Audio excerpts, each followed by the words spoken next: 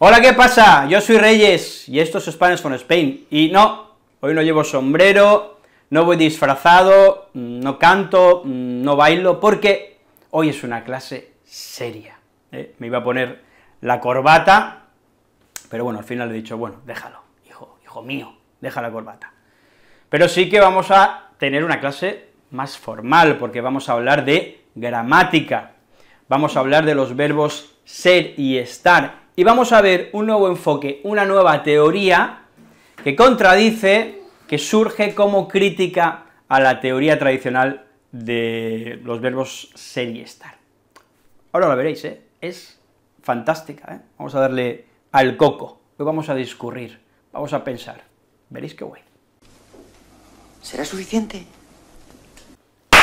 Y ven con popo, y popomi, y chami, y gugu, fume mami, mami, es imposible que no cante, yo soy cantorman, cantorman. Bueno, vamos a ver, los verbos ser y estar. Hay algunas lenguas que solo tienen un verbo en lugar de estos dos, ¿no?, de ser y de estar, pues por ejemplo en inglés tienen el to be, ¿no?, to be or not to be. Bueno, ser y estar, ¿qué dice la gramática tradicional? La gramática tradicional, lo que seguramente hayáis estudiado, hayáis leído, sepáis, es que vamos a utilizar ser para hablar de cosas permanentes, y vamos a hablar, eh, vamos a utilizar estar, por el contrario, para hablar de cosas eh, que son transitorias, eh, que no son permanentes. Pero, mm, bueno, es una teoría simplista, y a poco que rasquemos un poco, a poco que veamos algunos ejemplos, enseguida empezará a oler mal, ¿no?, y nos digamos, pero bueno, mm, ser y estar no era ser eh, permanente y estar no permanente, transitorio, ¿no? Por ejemplo, si yo digo, mi casa está al lado de la playa, está, pero, pero si mi casa está al lado de la playa, mi casa no se va a mover, ¿no? Entonces, no estaríamos hablando de algo mm, no transitorio, ¿no?, la, la localización de una casa.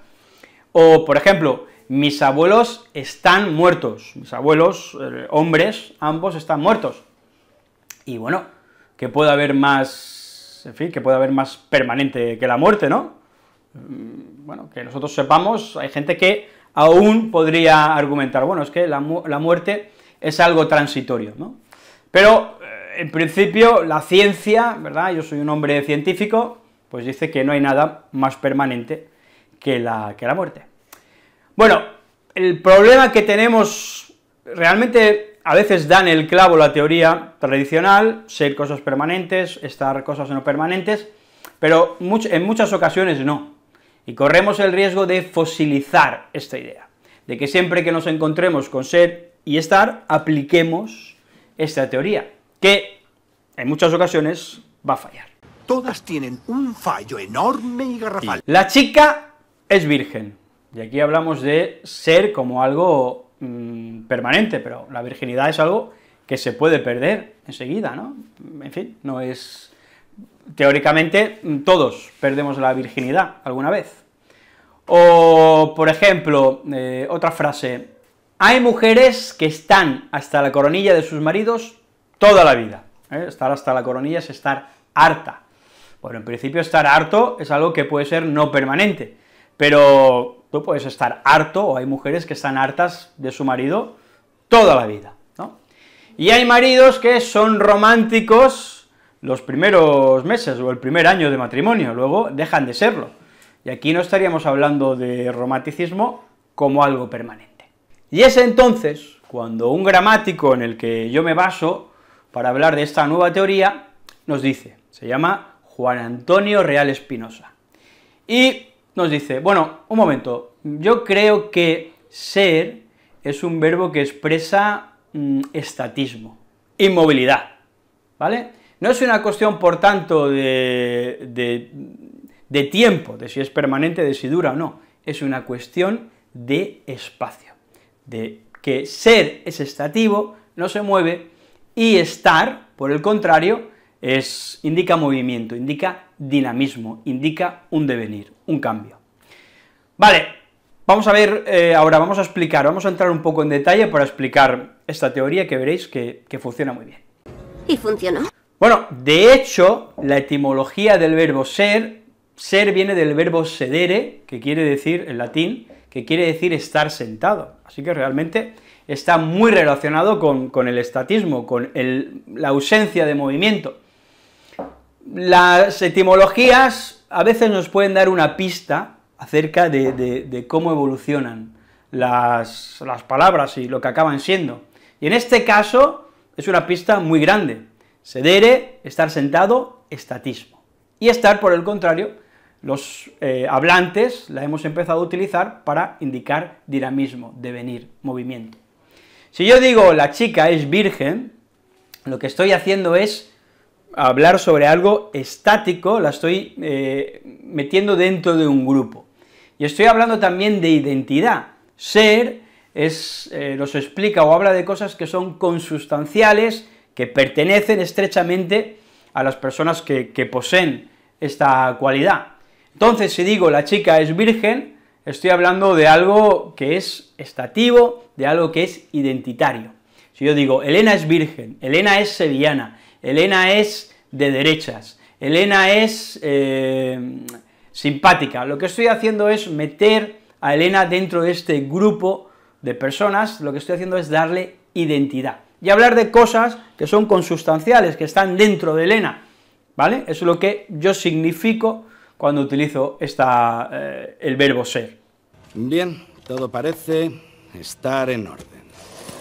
Fijaos, fijaos hasta qué punto ser es identitario, está vinculado estrechamente al sujeto, que si yo digo, por ejemplo, Jesucristo es Dios, o si yo digo el presidente es tesorero, ¿Cuál es el sujeto de la oración? Realmente el presidente y el tesorero son la misma cosa. Eh, la frase Dios es Jesucristo, o Jesucristo es Dios, Dios, Dios y Jesucristo son la misma cosa. Así que fijaos, hasta qué punto es consustancial. Por el contrario, si yo utilizo el verbo estar, y yo digo Elena está obesa, la que estoy, lo que estoy haciendo es separar a, Elena del grupo y no darle identidad de persona obesa, ¿vale?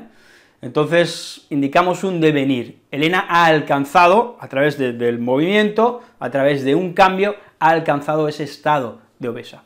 Pero no digo que sea, que es obesa, por lo tanto, no la englobo dentro del grupo de las personas que son obesas.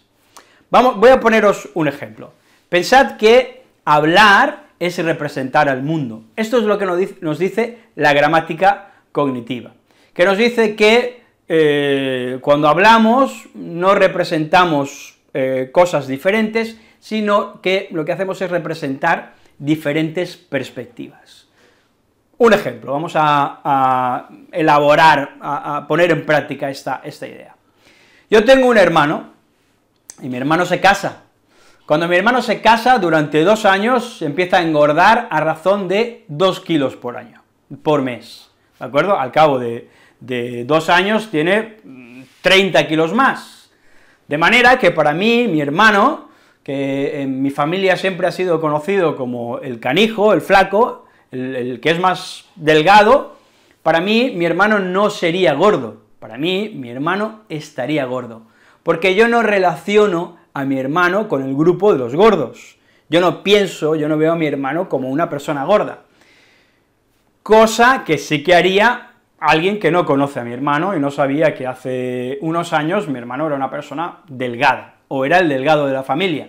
Así que veis que lo que hacemos es hablar sobre diferentes perspectivas. Para mí está gordo, para otra persona quizás sería gordo.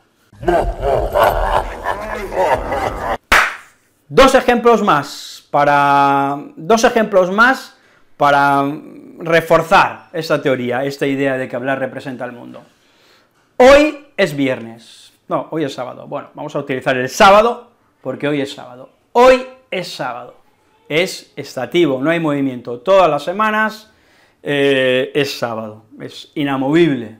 Pero también decimos los nativos, hoy estamos a sábado, estamos a sábado, y aquí lo que connotamos, o lo que, sí, eh, lo que indicamos es que hoy es sábado, pero mañana es domingo, y ayer fue viernes, por lo tanto es un devenir, un cambio constante. Esta es Esto es lo que subyace dentro de, los significados de ser y estar. Otro, Juan es camarero.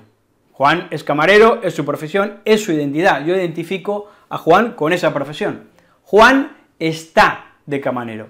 Camarero, aquí indica de venir, es decir, Juan, probablemente si yo digo que está de camarero, es que en el pasado se dedicaba a otras cosas. Fue albañil, fue eh, banquero, fue profesor, y ahora está de camarero, y indicamos de venir. ¿Veis? ¿Eh? Eh, como, bueno, con estos ejemplos, pues se ve, se ve muy bien, ¿no? podemos hacernos una idea muy clara de, de las diferencias entre ser y estar. Ahora bien, no penséis que esta teoría va a aclarar vuestras, todas vuestras dudas y todos vuestros casos, pero bueno, sí que os va a encaminar hacia algo más certero que la teoría tradicional. Pero es la práctica, son los usos, es eh, utilizar la lengua lo que os va a permitir acertar en la mayoría de ocasiones. Pero esto es lo que indicamos, esto es lo que queremos decir, lo que he explicado, cuando utilizamos ser y estar. Por lo tanto, yo, como profe de español, pues creo que es una teoría mucho más acertada, creo que es una teoría que os va a facilitar entender mejor la diferencia entre ser y estar, y además creo que nos va a llevar a ciertas confusiones, ¿vale?, como puse los ejemplos de estar cerca o estar en un lugar, algo que teóricamente es permanente, pero utilizamos con un verbo que la teoría tradicional dice que no es permanente, o estar muerto, que puede haber más permanente que la muerte. Bueno, pues ya está, ¿vale? Ser tiene ese carácter, ese carácter identitario, nos da identidad, es una cosa consustancial, inherente al sujeto, y es estativo. ¿eh? Recordar que viene de la palabra sedere, ser, que en latín quería decir estar sentado. Y, bueno, pues con estar ocurre, digamos que, mm, lo contrario. Estar es mm, dinámico, representa un devenir, un cambio, algo que ha sucedido, porque ha habido un proceso. Y ya está. ¿Veis? ¿Veis cómo la gramática es estimulante, es emocionante, nos hace pensar, nos hace discurrir, hay que mover las neuronas, hay que, pues eso, discurrir, pensar, reflexionar, ¿eh? nos hace más sabios. Y también os va a hacer más sabios suscribiros a Spanish from Spain, claro que sí. Eh, le dais al like y compartís. Muchas gracias también al profe Juan Antonio Real Espinosa por esa teoría tan interesante y que creo que os va a ser de, de gran ayuda. Y ya está, me despido de vosotros, que tengáis una semana estupenda, la vida puede ser maravillosa, me voy. Adiós, nos vemos, chao.